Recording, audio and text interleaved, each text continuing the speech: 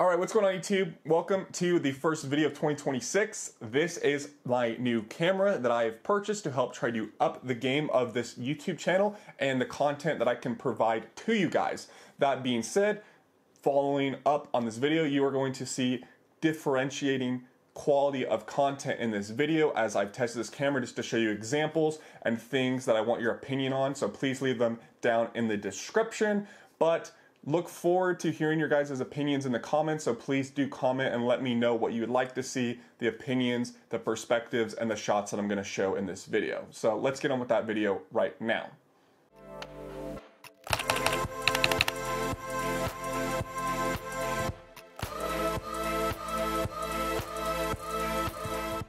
What's going on YouTube? Welcome back to LTH. My name is Abe, and in this video, I wanna just talk about what's gonna happen in 2026. As you can see, I have some stuff in front of me. I have a new camera, SD cards, filament, new products that I want to try and show on the channel and their usefulness. Essentially what I'm getting at is 2025 has been freaking awesome and I appreciate every single one of you guys. You know, we're dang near close to 10K or like two or 9,300-ish. I wish it would have been 10K in 2025, but we're gonna have to save that for 2026.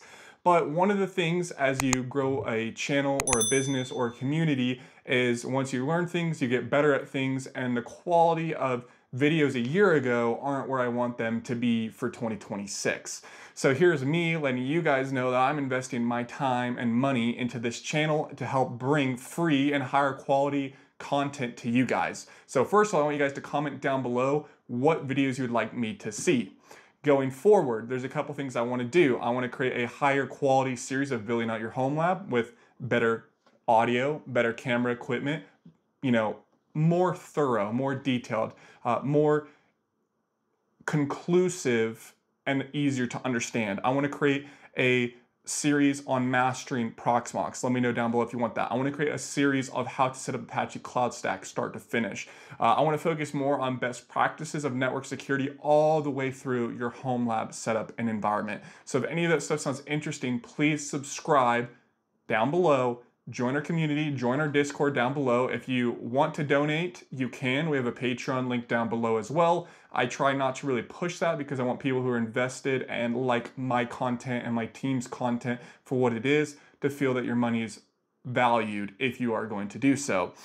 But as you can see, I'm recording this on my phone right now, which is okay. Uh, it's not bad. The problem is getting the angle right. I am in a small space, you might be able to tell. Um, so having a camera with interchangeable lenses and angles and quality to help with lighting, uh, things like that, I think will really help bring this channel alive as we grow, which will allow us to move into bigger spaces. So I'm gonna go ahead and get this set up and kind of just show you guys what we got going on and hopefully you guys think the quality is good. You might think, oh, it's not that much better than your phone from an angle and a standstill like this. It's probably not, but when I'm doing overhead shots and I'm doing, you know, product reviews or pictures, the depth of the phone just isn't there. It doesn't uh, meet the quality or got I have to get it too close to keep the quality there and then the phone's in my way where a camera with the zoom lens I can have higher up out of my way and show you guys better products, better videos, and better tutorials. So I hope you guys will see that going into 2026. Now, let me get this camera set up and let me know what you guys think.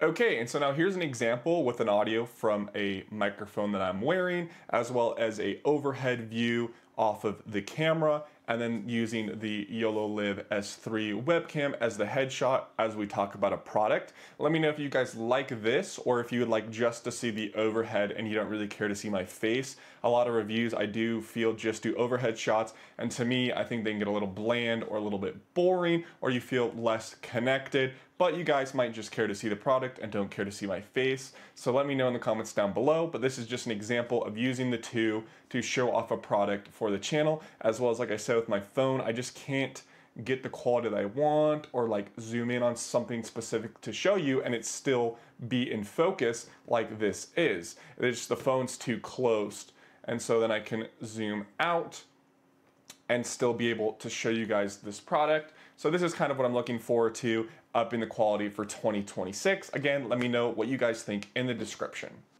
Okay, and then here's an example just using the camera with a capture card. So this is technically in 1080p. And then in a minute, I will show you directly off of the camera.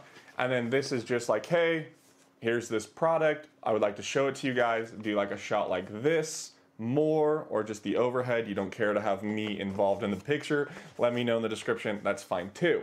But it is pretty nice to be able to, you know, have a product and be able to put it in front of you and the focus actually pull and do what it should do is just a lot better on this. So again, let me show you what it looks like just straight out of the camera. So you guys can leave your opinions down below in the comments. Okay, and then here's an example just using the camera with a capture card. So this is technically in 1080p. And then in a minute, I will show you directly off of the camera. And then this is just like, hey, here's this product. I would like to show it to you guys. Do like a shot like this more or just the overhead, you don't care to have me involved in the picture, let me know in the description. That's fine too. But it is pretty nice to be able to, you know, have a product and be able to put it in front of you and the focus actually pull and do what it should do is just a lot better on this. So again, let me show you what it looks like just straight out of the camera. So you guys can leave your opinions down below in the comments. Now here's an example of an overhead shot. And this is what I really wanted to uh, look at and see what the focus looks like because I just really hate the focus ability of that camera. So here's just an example. This is showing that it is a little bit overexposed in this manual mode. Here's with that overhead light off.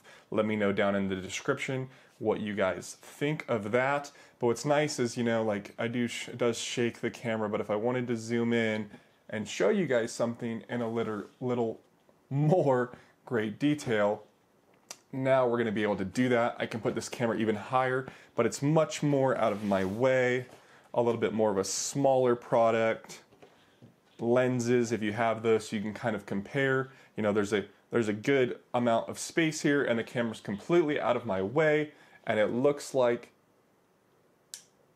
we are able to keep that focus, which is just awesome.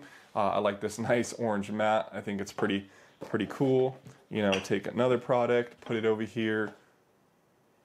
Very interesting, but that's kind of the idea of an overhead shot that I've kind of been thinking about doing on the channel when it comes to reviewing more products so they're higher quality. Okay, and so now what I want to do is show you guys a combo of the two. Okay guys, I know that was a little bit of an abrupt ending, but essentially what I'm getting at is there's just more content coming, higher quality content, and content that is wrapped together in a better, more complete package. So I hope you guys subscribe. I hope you guys did leave your opinions down below in the comments. I appreciate every single one of you, and let's make 2026 an awesome year for anyone who's learning to build a home lab or wants to expand their home lab. Thank you for watching. My name is Abe, signing off with another video.